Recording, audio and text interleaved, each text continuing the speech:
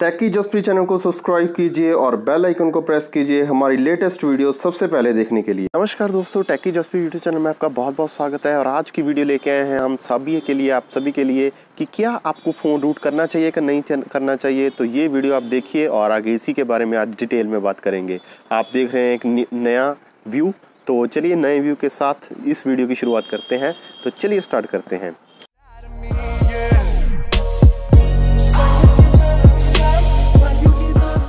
तो देखिए दोस्तों अगर हम रूट की बात करें तो रूट करना क्या होता है एक फ़ोन को? पहले तो हम ये समझते हैं फिर हम समझेंगे कि क्या इसे करना चाहिए या नहीं करना चाहिए। देखिए दोस्तों जहाँ तक हम फ़ोन को रूट करने की बात करते हैं तो रूट का मतलब क्या होता है कि जो आपके फ़ोन के मैन्युफैक्चरर ने आपको ओरिजिनल सॉफ्टवेयर डाल के दिया है उसे हम आ, उसकी फ़ोन की रोम में से जो कि उसकी इंटरनल स्टोरेज होती है उसमें से उसको निकाल के उसकी जगह कोई और सॉफ्टवेयर डाल दें तो उसे हम रूट कहेंगे। कि जो आपके फ़ोन की जो सिस्टम फाइल्स है, उसके साथ छेड़छाड़ करनी। सीधी भाषा में बताऊँगा मैं आज आपको, क्योंकि अगर हम ज़्यादा टेक्निकल चले जाएँ तो वो तो आपको, आप ज़्यादा कंफ्यूज हो जाओगे, उसमें तो आपको समझ नहीं पाओगे। तो मैं बिल्कुल देसी भाषा में समझाऊँगा, ताकि आपको अच्छे से समझ लग सके। देखिए, जो आपका फ़ोन की जो आपका मैन्युफैक्चरर है, जो भी, जैसे आप शाओमी का फ़ोन यूज़ कर रहे हो तो उसका जो मेन मैन्युफैक्चरर है, वो जो आपको सॉफ्टवेयर डाल के देता है तो उसके साथ छेड़छाड़ करना। उसे रूट बोलते हैं हम। तो वो छेड़छाड़ काफ़ी तरीके से हो सकती है। एक तो होती है कि आपके फ़ोन में जो है जो सॉफ्टवेयर डाला हुआ है, जैसे एंड्रॉयड सेवन है, मान लीजिए। तो वो जो सॉफ्टवेयर डाला हुआ है, आप चाहते हैं कि मैंने लेटेस्ट सॉफ्टवेयर हमें चाहिए।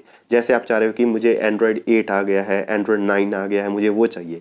तो एक तो वो होता है। उसके लिए क्या करते हैं लोग? उसकी एक रोम होती है तो वो अलग से रोम अपने फ़ोन में डाल लेते हैं। वो भी रूटिंग के प्रोसेस से ही होता है।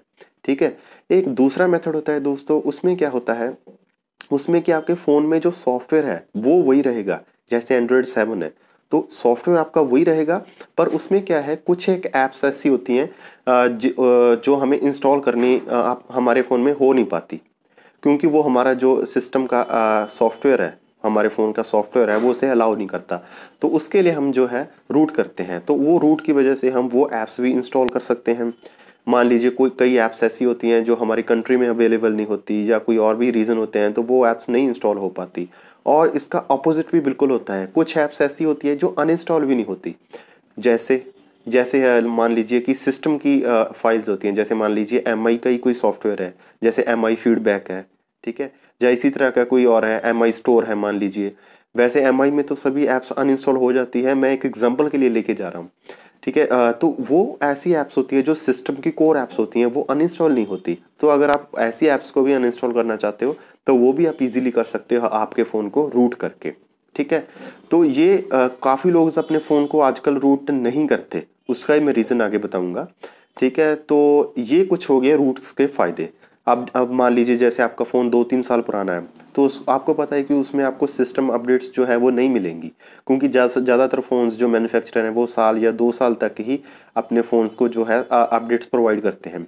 तो रूट का कुछ एक फ़ायदा ये भी हो सकता है कि आप एक्सटर्नल रोम्स जो हैं वो अपने फ़ोन में डाल के अपने फ़ोन में लेटेस्ट सॉफ्टवेयर यूज़ कर सकते हो। ये कुछ एक आपके उसके फ़ायदे भी हैं, हम बोल सकते हैं रूट के। पर अगर हम इसकी कमियों की बात करें दोस्तों तो ये आपके फ़ोन को जो है, कोई भी हैकर जो है उसे अटैक कर सकता है। क्योंकि आपको जो आप थर्ड पार्टी रोम्स जो है अपने फ़ोन में इंस्टॉल करते हो तो उसमें आपको जो है एक सिक्योरिटी नहीं मिलती, क्योंकि वो कोई भी उसे तोड़फोड़ कर सकता है उसके साथ। मान लीजिए कोई थर्ड पार्टी रोम बनाई किसी ने और किसी और यूज़र ने उसके साथ और चेंजेस कर दी तो फिर आपने इंस्टॉल कर ली। तो वो इतना सिक्योर सिस्टम नहीं होता क्योंकि वो जो है, हमारा फ़ोन का मैन्युफैक्चरर है, वो उसे बिल्कुल भी अलाउ नहीं करता कि आप इस तरह की जो है ऐप्स को यूज़ करें या अपने फ़ोन को रूट करें। तो इसीलिए अगर आपने देखा भी होगा, जब भी आप अपने फ़ोन को रूट करते हैं तो उसकी जो वारंटी है वो ख़त्म हो जाती है ज़्यादातर मैन्युफैक्चरर्स में। क्यों? क्योंकि वो थर्ड पार्टी रोम्स को जो है, वो सपोर्ट ही नहीं करते। ठीक है? और इसका एक रीज़न और भी सबसे बड़ा नुकसान ये भी है कि आपका फ़ोन जो है वो परमानेंटली ब्रिक भी हो सकता है। क्योंकि बहुत से रोम्स ऐसी होती है, जब आप उसे इंस्टॉल कर रहे होते हो तो उस समय मान लीजिए आपसे थोड़ी बहुत भी गलती हो गई तो आपका फ़ोन टेम्परेरीली या परमानेंटली भी बंद हो सकता है ब्रिक हो सकता है। ठीक है? तो ये कुछ एक नुकसान है, पर अगर मैं मेरी बात करूँ फाइनल कंक्लूजन मैं अपनी बात बताता हूँ मेरे हिसाब से आप लोगों को अपना फ़ोन बिल्कुल भी रूट नहीं करना चाहिए, क्योंकि आजकल दोस्तों जो हमारे फ़ोन के मैन्युफैक्चरर हैं, वो ऑलरेडी पहले ही हमें इतने अच्छे फीचर्स डाल के देते हैं हमारे फ़ोन्स में। और आपको पता ही है, इतनी देर फ़ोन यूज़ भी कौन करता है? आप ज़्यादा से ज़्यादा एक साल या दो साल तक मैक्सिमम अपने फ़ोन को रखते हो। आजकल फ़ोन्स के रेट प्राइसेस इतने कम हो गए हैं कि हम दो साल बाद या एक साल बाद अपना फ़ोन चेंज कर ही लेते हैं। तो इस वजह से जो है, आप, अगर आप आज के टाइम में फ़ोन लोगे तो उसमें सारे लेटेस्ट फीचर होंगे ही, उसके लिए आपको रूट करने की ज़रूरत ही नहीं है। ठीक है? तो ये मेरे कुछ एक बातें थी जो मैं आपको बताना चाहता था फ़ोन को रूट करने के लिए। तो मेरे हिसाब से फ़ोन बिल्कुल भी रूट नहीं करना चाहिए। उसमें बहुत से आपको जो है नुकसान हो सकते हैं। और अगर आप इतने टेक की पर्सन नहीं हो तो आप डेफिनेटली अपने फ़ोन को ख़राब भी कर सकते हो रूट के चक्कर में।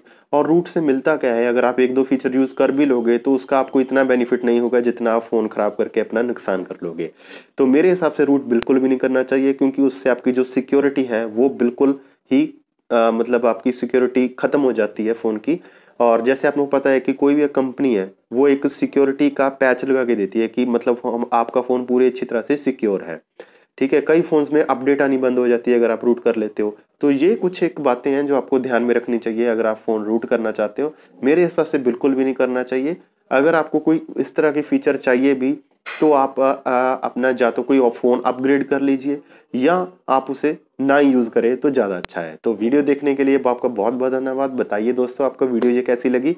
आई होप कि आपको वीडियो अच्छी लगी काफ़ी आपको इन्फॉर्मेशन भी मिली होगी और इसी तरह की और वीडियोस देखने के लिए हमारे चैनल को प्लीज़ ज़रूर सब्सक्राइब कीजिए। इस वीडियो को लाइक कीजिए, चैनल को सब्सक्राइब कीजिए और वीडियो को शेयर ज़रूर कीजिए अपने सभी दोस्तों के साथ, ताकि वो भी रूट के बारे में पता कर सके कि रूट क्या होता है और कैसे हमें करना चाहिए या नहीं करना चाहिए। So thank you for watching this video have a nice day